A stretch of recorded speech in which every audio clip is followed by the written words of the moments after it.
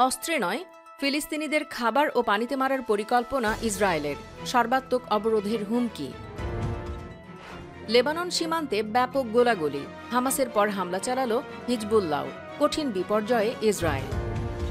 গাজায় ইসরায়েলের হামলা। ফিলিস্তিনিদের প্রতি সমর্থন বেড়েছে মধ্যপ্রাচ্যের দেশগুলোর। ইসরায়েল গাজা যুদ্ধের দায় সরাসরি নেতানিয়াহুর। কারণ জানালো হারেজ্জ দেখছিলেন ফিলিস্তিন ইসরায়েল সংঘাত নিয়ে এই মুহূর্তের সংবাদগুলোর প্রধান শিরোনাম। এবার থাকছে বিস্তারিত। ভয়াবহ হামলার পর ফিলিস্তিনিদের খাবার ও পানিতে মারার অমানবিক পরিকল্পনা করছে ইসরায়েল ও পশ্চিমা বিশ্ব। হামাসের সঙ্গে ইসরায়েলের যুদ্ধ আরও ভয়াবহ রূপ নিয়েছে। যুদ্ধে ইসরায়েলের প্রাণহানি অব্যাহতভাবে বাড়ছেই। উভয় পক্ষের চলমান লড়াইয়ে প্রাণহানির সংখ্যা এক হাজার পাঁচশো ছাড়িয়ে গেছে। এ পরিস্থিতিতে হামাস নিয়ন্ত্রিত গাজা উপত্যকা সম্পূর্ণ অবরুদ্ধ করার হুমকি দিয়েছে ইসরায়েল। ইসরায়েলের প্রতিরক্ষা মন্ত্রী ইউয়াফ গ্যালান্ট বলেন, আমি গাজা উপত্যকা সম্পূর্ণ অবরোধের নির্দেশ দিয়েছি। বিদ্যুৎ, খাবার গ্যাস সহ সবকিছুই সেখানে বন্ধ থাকবে। অপরদিকে, হামাস শতাধিক ইসরায়েলি নাগরিককে বন্দী করেছে, স্বীকার করেছেন পররাষ্ট্রমন্ত্রী এলি কোহেন। হামলা বন্ধ না করলে যুদ্ধবন্দীদের হত্যা করা হবে বলে হুমকি দিয়েছে হামাস। তবে যে কোনো সময় যুদ্ধবিরতির জন্য আলোচনায় বসতে তারা প্রস্তুত। ইসরায়েলে এখনও ফিলিস্তিনি সশস্ত্র যোদ্ধাদের একটি দল অবস্থান করছে বলে সর্বশেষ জানিয়েছেন ইসরায়েলের প্রধানমন্ত্রী বেনিয়ামিন নেতানিয়াহু। তিনি বলেন, আমি গাজার মানুষের উদ্দেশ্যে বলছি, তোমরা সরে যাও। আমরা আমাদের সর্বশক্তি দিয়ে এখন সবখানে আক্রমণ চালাব।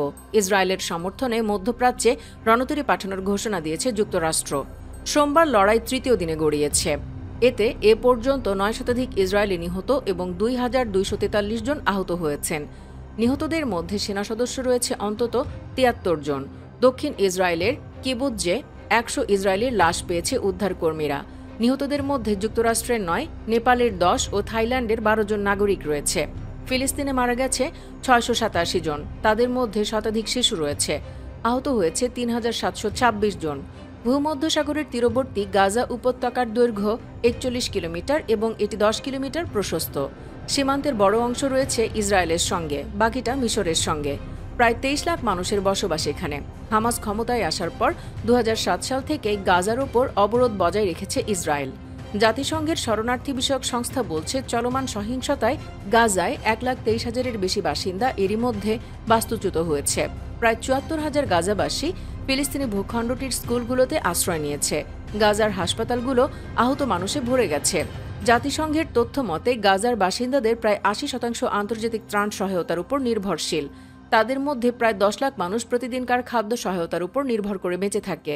এদিকে, অবরুদ্ধ গাজা উপত্যকায় অব্যাহতভাবে বৃষ্টির মতো বোমা ছুটছে ইসরায়েলি বিমান বাহিনী। এছাড়া সঙ্গে ড্রোন ব্যবহার করেও সেখানে হামলা চালানো হচ্ছে। গাজার আকাশ এখন ইসরায়েলি যুদ্ধ বিমান এবং ড্রোন দিয়ে পূর্ণ। ইসরায়েলের বিমান বাহিনী জানিয়েছে, রোববার সারারাত ধরে গাজায় হামাস এবং ইসলামপন্থী জিহাদি দলগুলোর অন্তত পাঁচশোটি অবস্থান লক্ষ্য করে বিমান হামলা চালানো হয়েছে। এসব হামলায় ফাইটার জেট, হেলিকপ্টার, এয়ারক্রাফট এবং কামান ব্যবহার করা হয়েছে। গাজার বাসিন্দা রেফাত আল আরির আল জাজিরাকে বলেন, অবরুদ্ধ ছিটমহলে ইসরায়েলি বোমা হামলা এক মিনিটের জন্য থামেনি।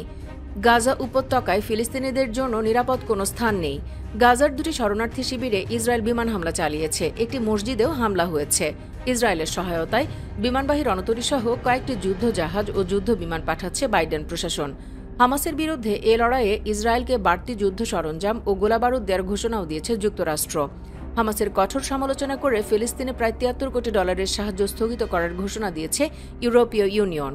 অস্ট্রিয়া ও জার্মানি বলেছে তারা ফিলিস্তিনিদের সাহায্য স্থগিত করেছে, তবে আয়ারল্যান্ড গাজাবাসীর সহায়তা স্থগিত করার সিদ্ধান্ত প্রত্যাখ্যান করেছে। অপরদিকে লেবাননের দক্ষিণাঞ্চলে বিমান হামলা চালিয়ে দেশটির সশস্ত্র ইসলামী গোষ্ঠী হিজবুল্লার দুই সদস্যকে হত্যা করেছে ইসরায়েলের সামরিক বাহিনী। হামাসের সাথে ইসরায়েলের চলমান যুদ্ধে ফিলিস্তিনের সমর্থনে হিজবুল্লার সদস্যদের ইসরায়েলে ঢুকে পড়া ঠেকাতে এই বিমান হামলা চালানো হয়েছে। এর ফলে হামাস ইসরায়েল সংঘাতে হিজবুল্লার জড়িয়ে পড়ার ঝুঁকি বৃদ্ধি পেয়েছে বলে বিশ্লেষকরা আশঙ্কা প্রকাশ করেছেন। ব্রিটিশ বার্তা সংস্থা রয়টার্স বলেছে, তারা হিজবুল্লার ঘনিষ্ঠ দুটি সূত্র এবং লেবাননের একটি নিরাপত্তা সূত্র থেকে ইসরায়েলি হামলায় হামাসের দুই সদস্যের প্রাণহানির তথ্য পেয়েছে। আর ফরাসি বার্তা সংস্থা এএফপি বলেছে হিজবুল্লার কর্মকর্তারা খবরটি নিশ্চিত করেছেন। ইসরায়েলের সেনাবাহিনী বলেছে, সোমবার লেবানন থেকে সীমান্ত অতিক্রমকারী অন্তত দুই বন্দুকধারীকে হত্যা করা হয়েছে। এই অভিযানে ইসরায়েলের সেনাবাহিনী হেলিকপ্টার ব্যবহার করেছে বলে জানিয়েছে। দক্ষিণ লেবাননের কিছু বাসিন্দা বলেছেন, ব্যাপক গোলাবর্ষণের মাঝে তারা ইসরায়েলের সীমান্ত লাগোয়া বাড়িঘর ছেড়ে চলে যাচ্ছেন। ইসরায়েল থেকে ছোড়া গোলা লেবাননের দক্ষিণের শহর ও গ্রামাঞ্চলে আঘাত করছে বলে জানিয়েছেন তারা। গত কয়েক মাস ধরে ইসরায়েল এবং গাজার মধ্যে চলে আসা উত্তেজনা সর্বশেষ যুদ্ধ শুরুর আগেই লেবানন ইসরায়েল সীমান্ত বরাবর ছড়িয়ে পড়ার ঝুঁকি বাড়িয়ে তুলেছিল। এর মাঝেই রোববার হিজবুল্লাহ ও ইসরায়েলের সামরিক বাহিনীর মধ্যে কামান ও রকেট বিনিময় হয়েছে।